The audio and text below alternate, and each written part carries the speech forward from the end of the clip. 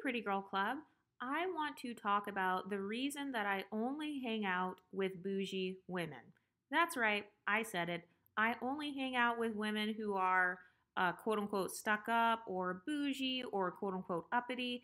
And the reason why is because, first of all, if you look up the definition of bougie, it says that it is an American slang term that means rich, luxurious, special, or fancy.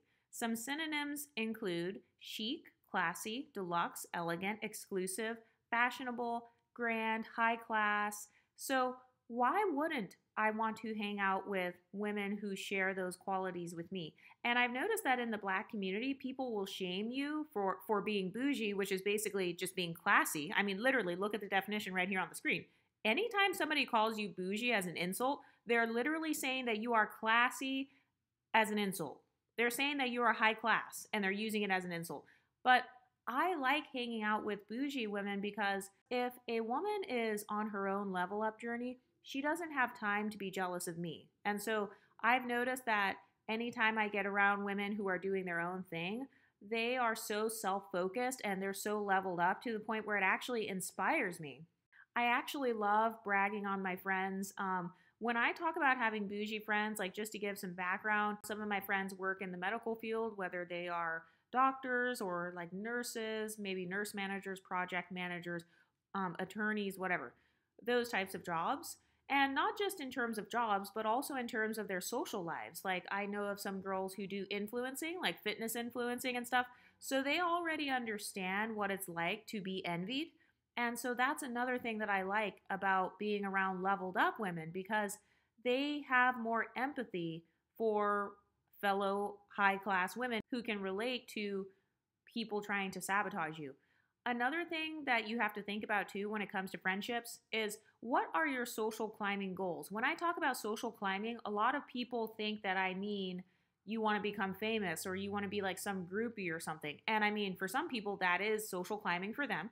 But my social climbing goals are to explore the city that I live in, to go to exclusive fun events, um, to go to beautiful places, luxurious places where I can like get content, whether it's for my Instagram, whether it's just for myself. Um, I want to be able to create positive memories and just kind of have like this soft life. So that's another question you can ask yourself. What is the soft life to you? Because I know that when I think of a soft life for myself, I kind of think of, you know, that show Emily in Paris? I think of myself like that, except for I work for myself and then my friends are all like these beautiful fashionistas. And then we have like a girl group and we go out to cafes and stuff. That is what I think of in my head when I think about the soft life. I think that too many people have spent their time investing in romantic relationships and they devalue female friendships. And female friendships are going to last longer than whatever guy you're talking to on a dating app. I'm just saying, on average. On average, if you are good at choosing female friends, they're going to last longer than some random dusty guy that you had to block. And so, relationships are actually a big part of what makes your life fun. If you feel like your life is boring, or if you feel like your city is boring and it sucks, it's probably because you don't have friends, you don't have any events to go to, and your life is a reflection of yourself. Remember, you're the main character. A man is not the main character. Your your boss at your job is not the main character. So I like to hang around bougie women because they have the same social climbing goals as me. They want to be in luxurious spaces just like me. So, for example, one of the things that I did with my friend group is we went to this really cute, fancy Pilates studio. So, you know how sometimes they have where you can like get a class for free or something like that? So, all of us signed up and we all went to this really luxurious Pilates place. And then we got smoothies. Um, another thing that I have done with friends is going to yoga classes. I've done like a paint and sip with my friend. We've had picnics. So when I think about bougie women, I notice that they are better friends because they are better planners. Think about how much planning goes into being classy. You have to plan out whether it's your outfit, you know, you're kind of planning where you want to live.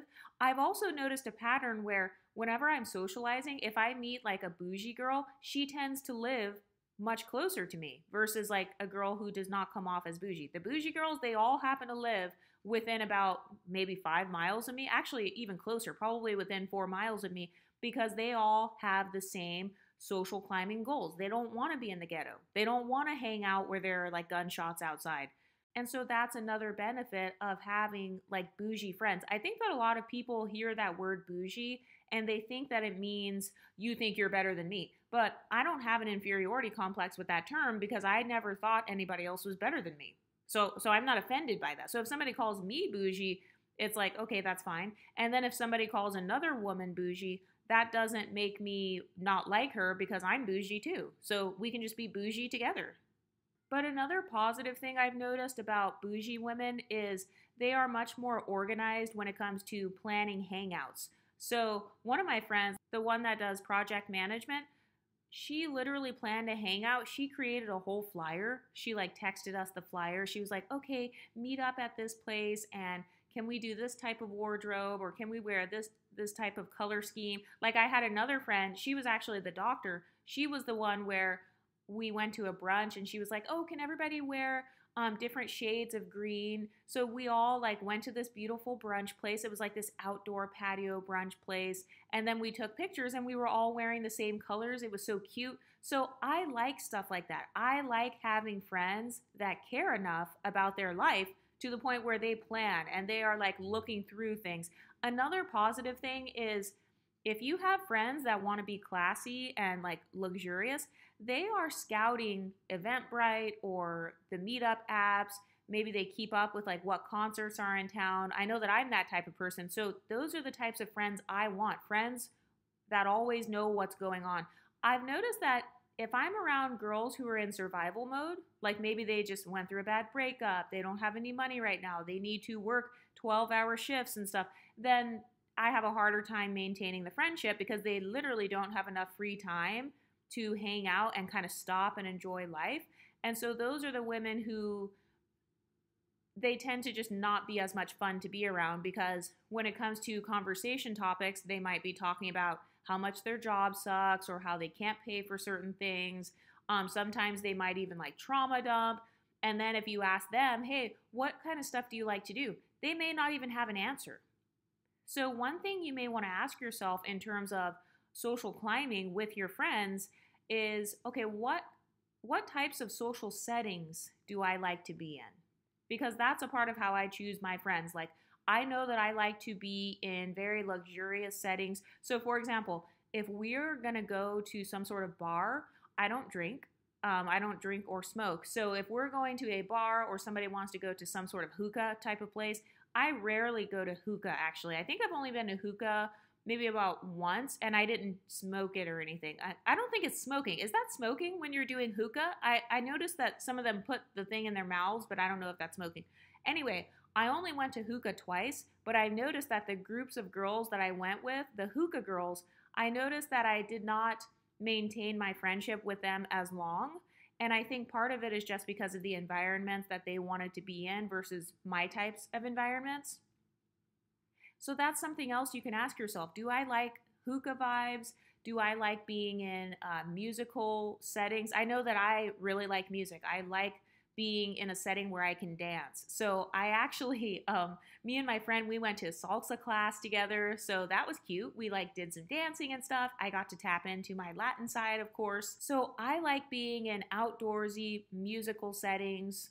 Um, something else that I've gone to with my friends is if they have like a band playing outdoors. Also, that's something you can ask yourself what kind of music do I like? What is my favorite culture to make friends in? Because having preferences for friendships, that's not racist.